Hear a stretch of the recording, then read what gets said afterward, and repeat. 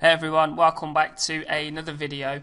So as promised, uh, I'm going to be starting another web series. So in this series, we're going to get another Photoshop PSD, we're going to convert that into HTML and CSS, and then we're going to create a dynamic website. So we'll have a database uh, with login controls or those sorts of things, password resets.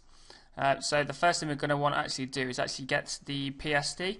So if you open up Google and go and type in HV-designs, and then you basically want to choose the top option which is basically hv-designs.co.uk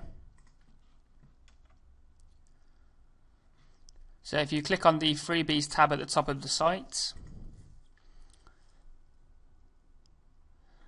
and if you cycle all the way down to the bottom of the page and it's on page number 3 and if you just come down slightly you'll find it here. So it's the software layout number five free PSD. So if you click on the image,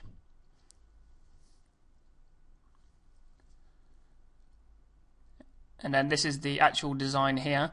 So we're going to be building this with HTML and CSS, and then we're going to, like I said, make it database driven with login controls and all that sort of thing. Okay, so if we just click on the download PSD file and then just save that somewhere on your PC. Okay, so now we've done that. So if we just open that up in Photoshop.